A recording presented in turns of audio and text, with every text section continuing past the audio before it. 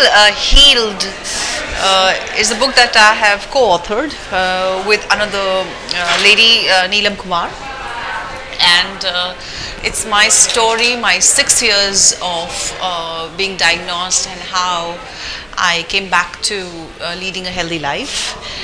And uh, in that whole process, uh, uh, this book is all about soul searching and digging out if there was any negative pattern which I needed to cleanse from my system, any emotional, mental uh, element uh, which was unhealthy, which was out of balance. So it's a bit of a soul uh, journey, soul searching, um, trying to connect dots, trying to put things together in perspective.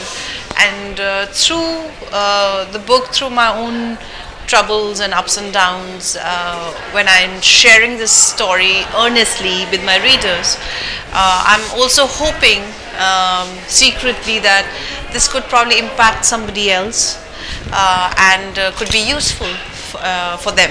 After my uh, diagnosis, I got totally hooked into health. So everything regarding my health, I started reading, and um, you know books on whether it's Louise Hay's, whether it's uh, Andrew Weil, Dr. Andrew Weil, whether it's uh, Dr. Bruce Lipton. Um, and there's so many uh, other people. Uh, then I started also uh, reading a bit on Tibetan Buddhism um, because it talks about uh, death and bardo and afterlife and all that. So each phase of my life was influenced by some issue, and I I would only look towards book for the answers.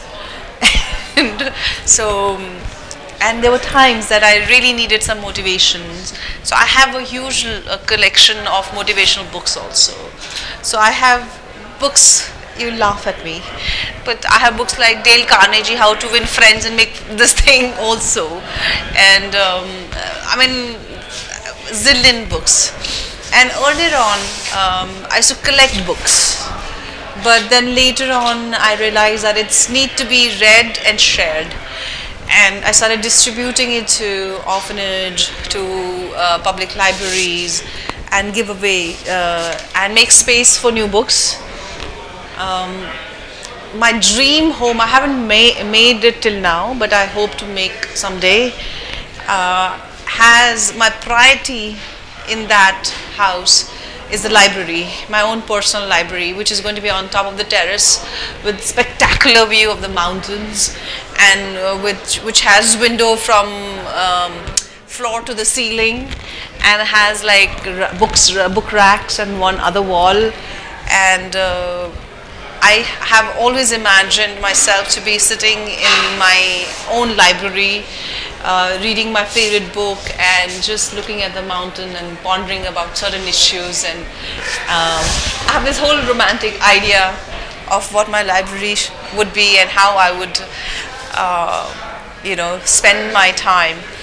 And as a child, um, I would say that uh, one wish I always had that uh, when I grow old, my eyes remain intact so that I could read more books.